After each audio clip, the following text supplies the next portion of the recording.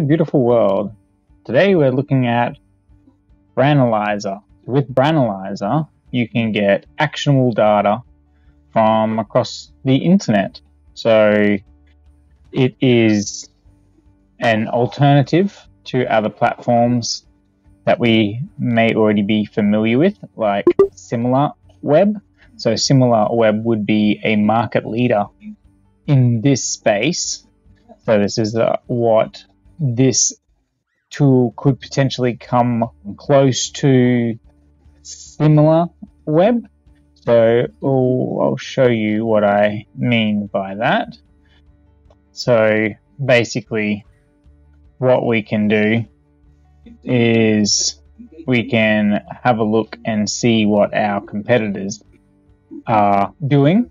We can see whether or not they're running ads, where they're getting their traffic from social media, whether their traffic is trending up, down, what keywords are they getting their traffic for, who's linking to them, what's their domain authority like. So we can find a lot of information. Sorry. So we can have a look at our the website of our competitors and see what they're doing. We can have a look at keyword strategies that websites are using. We can have a look at the landing pages and see what is working, what is not. Uh, we can see the ads, ads they're searching for. You can see keyword gaps, keyword generators. You can see the paid competition. You can see organic competitors that you're doing. You can have a keyword analysis, competitor, competitors, affiliates, and affiliates by keywords and display ads. So, really a useful, actionable data um, that you could use to mimic successful results. But to get that actionable data, to be able to have that at your fingertips, is on the cheap side. If you pay annually, it's over $200. So, you're looking at like $2,400 plus every year to be able to have access to those kind of stats. So it can be potentially outside of your budget, and that would be completely understandable. This is the market leader, so maybe you don't need this level of accuracy or this amount of data that you could be getting if you are a Similarweb user. But this is where then Branalyzer comes in because with Branalyzer, you're getting a tool that has the potential to be a Similarweb style tool of the future. But right now, it's for at least half the price. And if you check the link down in the description, can send you where you can get it on their current deal, which is incredible um, savings. So if you go and check that out, I'm sure you won't be disappointed. But basically, what you can get for approximately half the price, because this is in euros.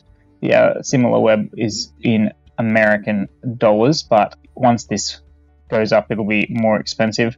So this will be on par with the pricing for an essential. So they're going to be a competitor. And basically, let's have a look and see what we can do here. Let's can see what I've done recently. So we can look at a local company here and we can have a look at the data that comes up for them. Oh, we just want to change that I am in Australia because let me change. This, this become be curious and, and then we get a brand summary for this online brand. So we get a estimation of their current traffic their conversion rate their estimated average order value and their estimated revenue. We get other KPIs so their traffic estimated order value, their conversion rates, their monthly revenue, their life, their customer lifetime value, their estimated customer lifetime period and their estimated gross margin and their estimated average purchase frequency. Then we can see their SEO. So this is their domain authority. High numbers good, low numbers bad. We can see their page authority. High numbers good, low numbers bad. We can see the number of pages linking to this website and we can see the rank of those links. Majestics info, so we have citation flow, which measures the link between the so the the weight of the link that is being sent. So this is like the domain authority of who's linking, and this is then the flow trust. So this is on the quantity. So this is the quality, the quantity is the number of links for this domain, and it has a referring domains of 1,700. Go into brand history, and we can go through and we can look at the traffic that they have had. Two reports at the beginning and end of the month, so it's like every two weeks they're collecting this information here. So we can see the change in the traffic and we can see that there's been a seasonal change here. Let's get more. So we can see that there's been a big drop off between the September, August and September this this year, 2000 and, and that all through last year, high, really high numbers, and then this big drop off here. So that's an interesting difference, an interesting observation. So we can go over, see if they're running any ads, keyword ads, or any other ads. We can see keywords that have gone down for them, keywords that have gone up in ranking for them, and keywords that they have lost out on any ranking for. And we can see those statistics moving twice monthly. So now we can look at the keywords that this site is getting traffic on.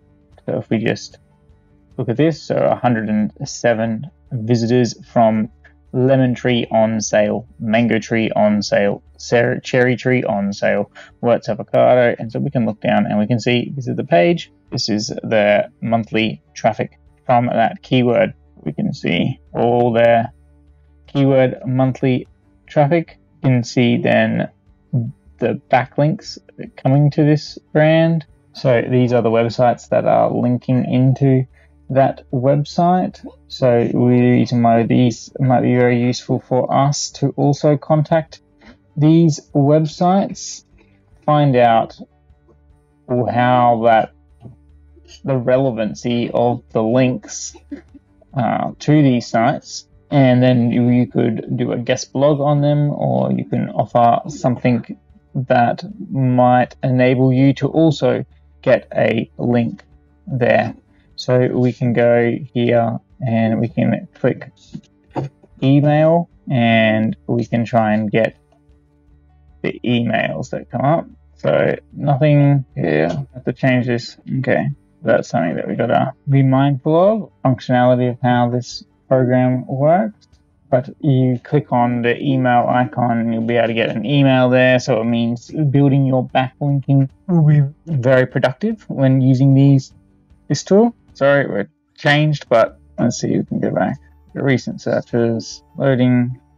We're going to go back to where we were before to have our search. Don't have enough credits. Okay, let's see where we're at. Alright, so then we can see that. We can see their backlinks Right, so links and being able to get email and contact out. This is maybe the price. Yep, so buy a guest post in this. So if you wanting to get a link from this site, you can pay for it. Let's keep going. So we can have a look and see what competitors. So there's other garden centers online nurseries, so that's all correct. This is an online nursery site. So we can see what keywords they're ranking for, we can see the traffic, we can get the email, we can see that they're, they're running ads.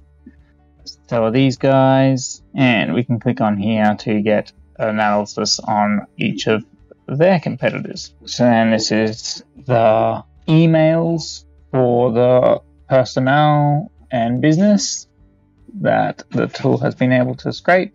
is the domains that are, are available.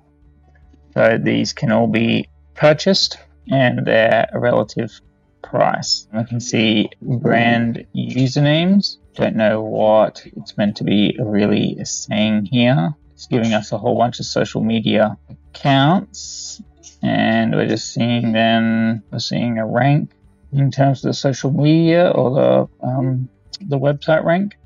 Seeing domain authorities, page authorities, and I'm not sure what the CF and TF is. I'm sure that we can go back and have a look where we see keywords backlink. We got same scores here, but let's go see. That's right, CF and TF. So referring quality of the referring links. That's what it is. So then we got brand malicious. So is there anything that's coming up that's suspect about a brand? It'll be it'll come up here. It'll give us a risk score. It'll give us a domain rank. It'll say if it's unsafe, the category of the classification, spamming, malware, file phishing, suspicious activity, parking, and adult.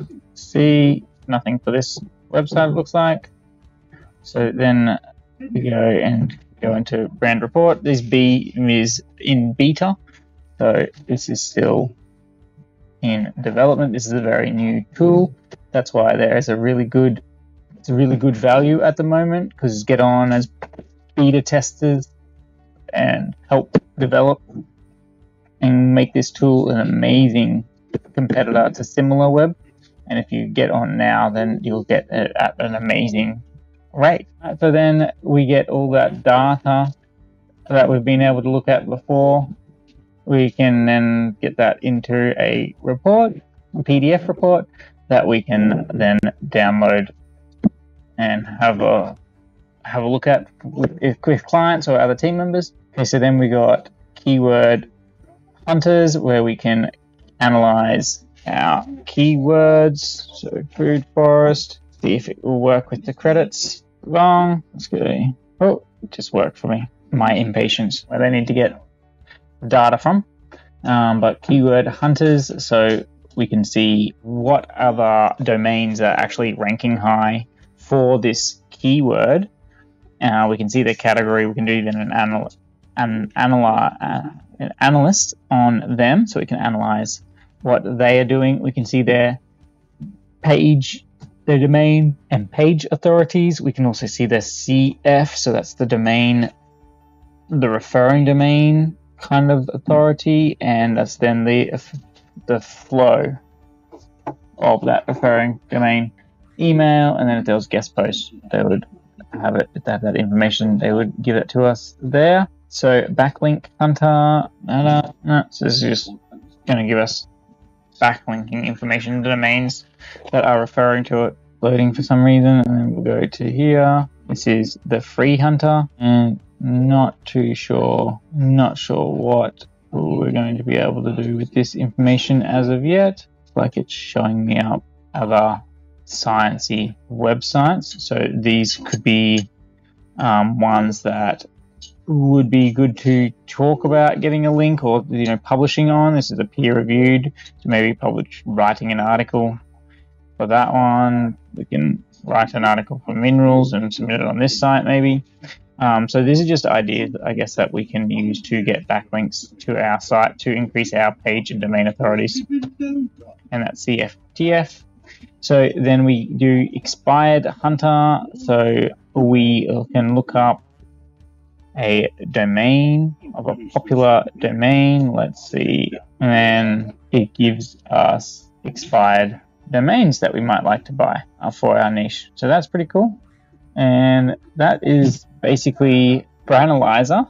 And don't forget to check out the description and have a look for this tool if you want to get on to something potentially that is going to be the next similar web or at least up there competing with SimilarWeb It's of a great value, like I said, and the information and the data um, as this tool gets more and more refined and better and better and better is just going to be amazing. So, very excited to be sharing this and talking about it. I don't think many people have actually tried it and looked at it, um, but definitely something that I would recommend going and checking out. So, thank you very much for watching. Have a lovely day and peace. Bye.